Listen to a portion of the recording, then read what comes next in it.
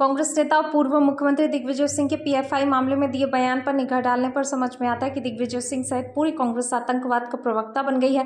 PFI पर होने वाले एक्शन से टेंशन में आने वाले दिग्विजय सिंह का पीएफआई से क्या कनेक्शन है? इस सवाल के साथ आज भाजपा मध्य प्रदेश कार्यालय पर आयोजित प्रेस कॉन्फ्रेंस में संबोधित किया। कांग्रेस और दिग्विजय सिंह जैसे लोग हिंदू, हिंदुस्तान हिंदुस्तान की सेना के समर्थन में कभी खड़े नहीं होते।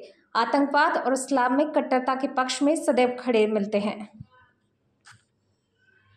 कुछ ना बोले। या अगर बोलना है तो वो मध्य प्रदेश को समझे, मध्य प्रदेश को आकर देखे।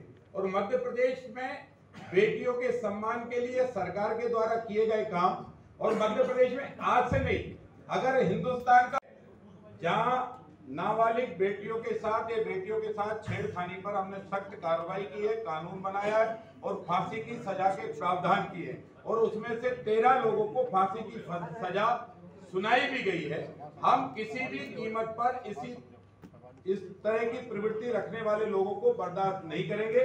ये बात अलग है कि प्रियंका जी आती हैं वो मध्य प्रदेश में कह जाती हैं राजस्थान में भूल जाती हैं। उन्हें राजस्थान के संदर्भ में